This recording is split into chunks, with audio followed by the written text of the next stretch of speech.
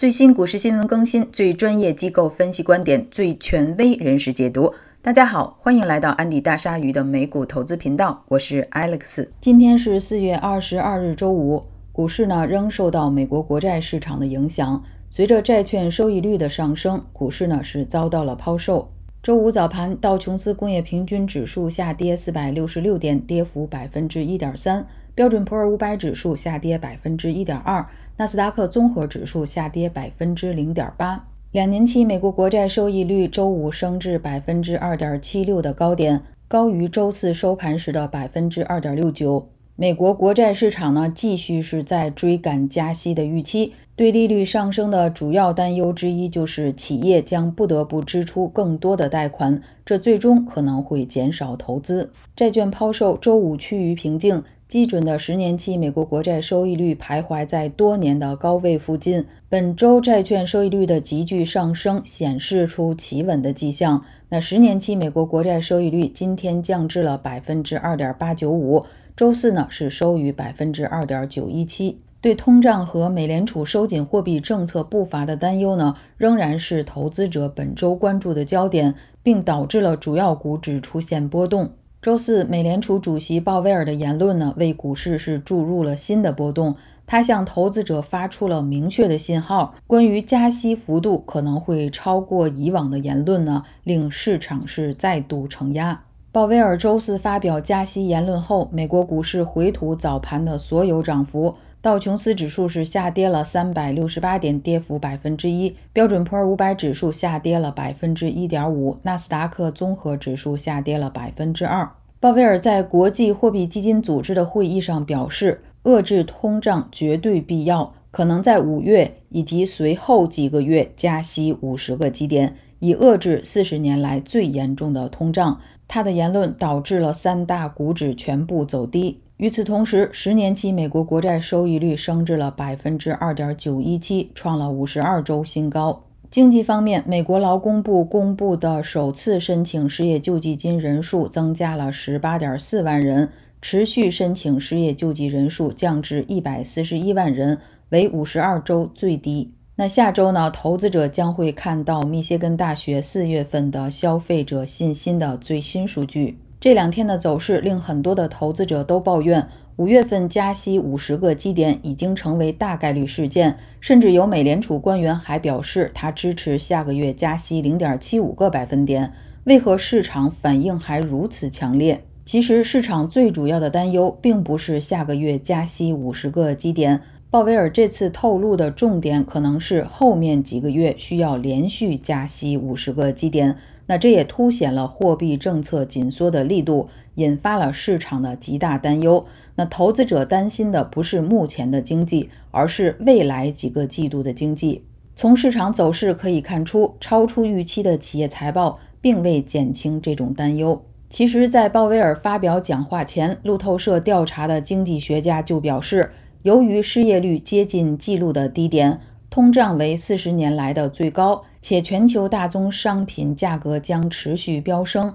那美联储需要迅速采取行动，控制物价压力，以免通胀失控，将在未来几个月大幅升息，并表示明年经济衰退的可能性为百分之四十。路透社是在四月四日到四月八日对一百多名经济学家进行的最新调查预计。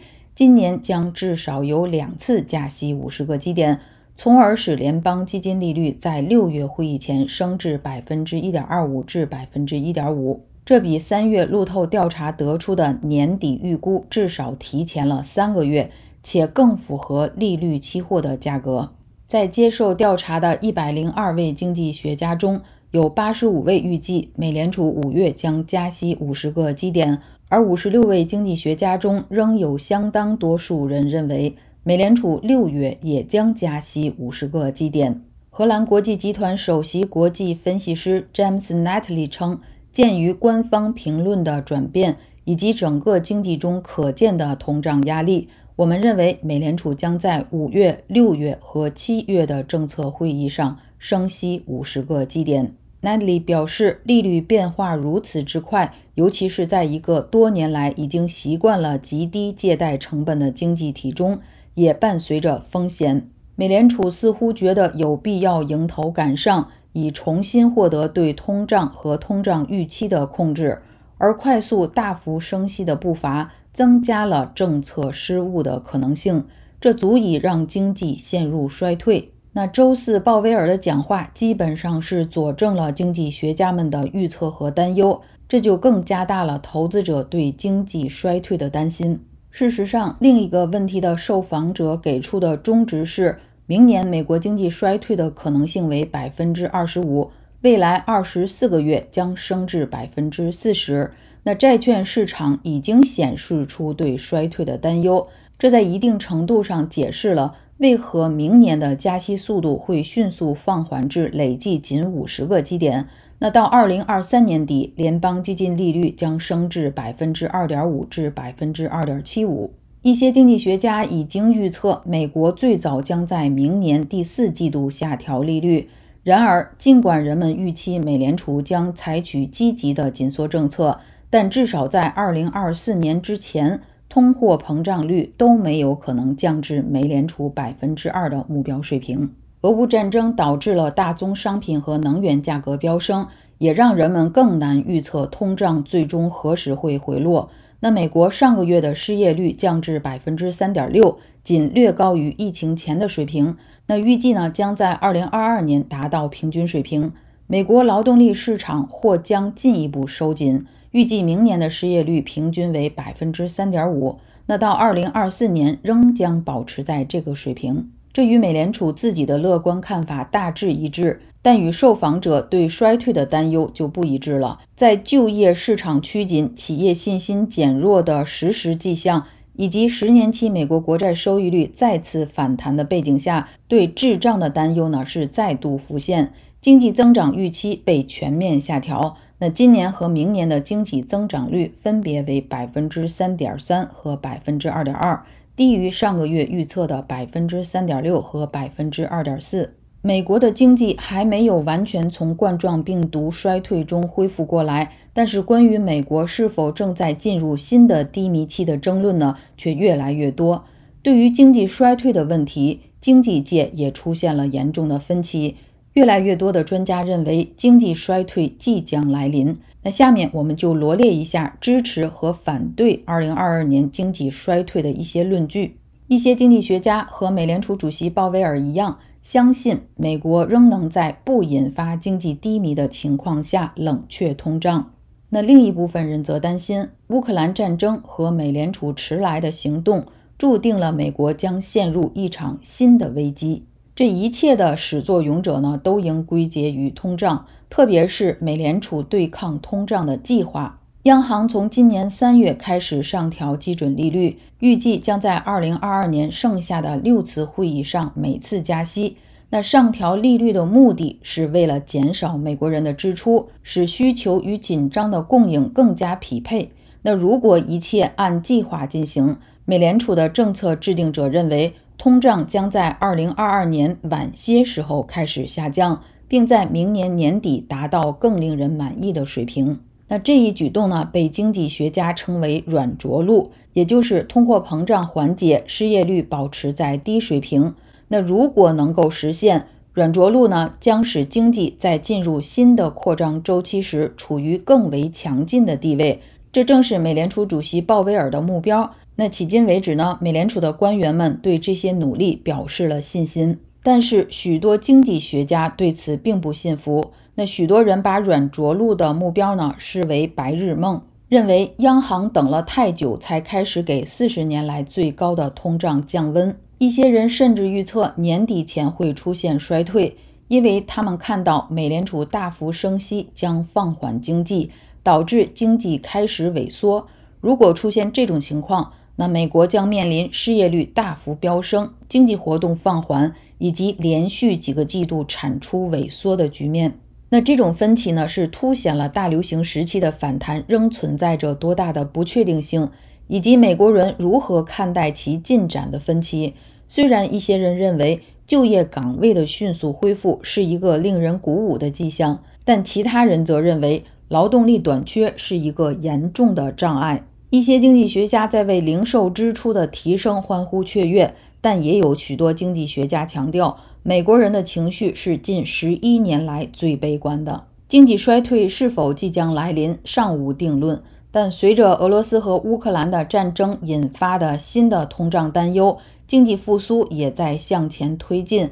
各方的争论都越来越激烈。一方面，经济学家担心过度调整会引发危机，预计未来几个月将出现衰退的鹰派经济学家指出了两个因素：美联储的时机选择和俄罗斯入侵乌克兰。前者呢被认为是一个政策错误，它让通胀过热太长时间；后者呢被视为是将通胀推高至令人担忧的水平，从而引发衰退加剧的担忧。这场冲突已经全面推高了商品价格。最近几周，天然气和原油等主要能源大宗商品的价格大幅上涨。小麦成本也出现了类似的膨胀，对保持作物产量强劲至关重要的商用化肥的价格也出现了上涨，一些贵金属的价格也出现了飙升，这可能会让汽车和电子产品等耐用品的供应链出现又一次的噩梦。通货膨胀的影响已经大到足以让一些大型银行在经济低迷时有所准备。那德意志银行是最新一家这样做的银行。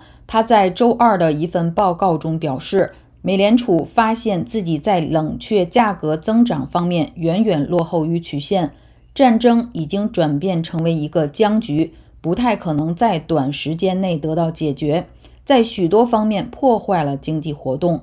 那预计未来两年，在美国和欧元区将出现经济衰退。那些预测经济衰退的人认为，随着利率变高，美国人控制支出。使经济呢失去关键燃料，实际上会逆转经济增长。前财政部长拉里·萨默斯是预测经济低迷的呼声最高的人之一。这位经济学家在《华盛顿邮报》最近的一篇专栏文章中预测，美国将出现重大衰退，称美联储没有意识到过去一年错误的严重性。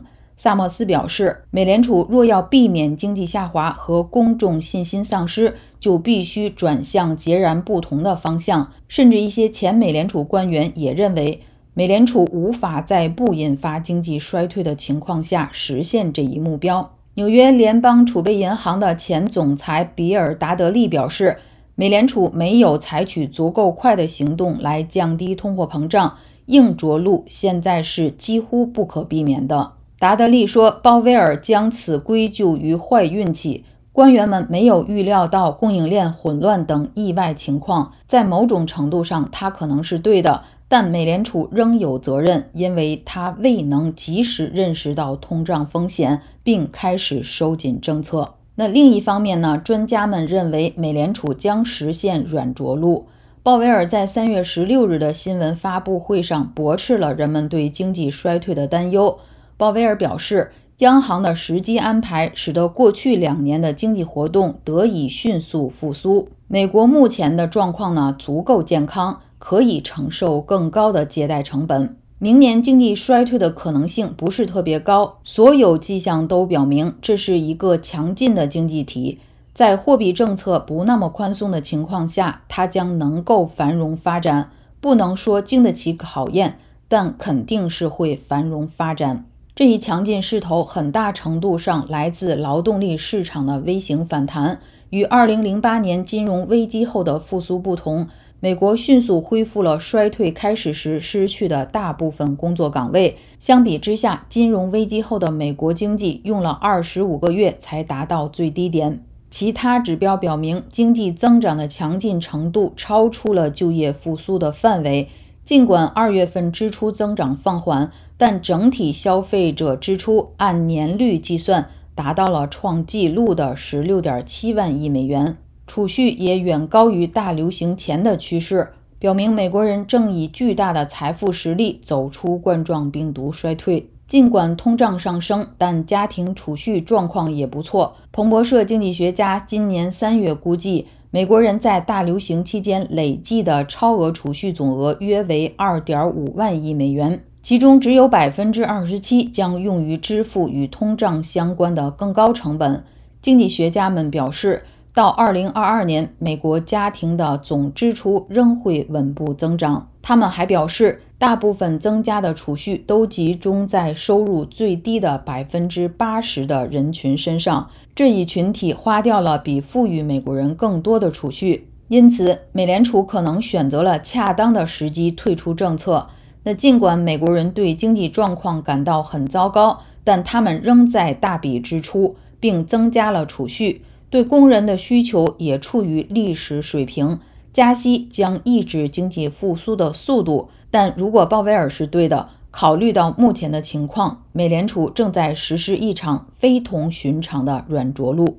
那以上呢，就是经济学界两派在经济是否将出现衰退的问题上的主张和论据。那大家是如何看待这两种说法呢？我想，这也许是每个投资者都需要思考的问题。好了，本期视频的全部内容呢，就是这些。更详细的市场前景分析和操作策略，请关注今天的会员视频更新。感谢各位观看，我们下期再见。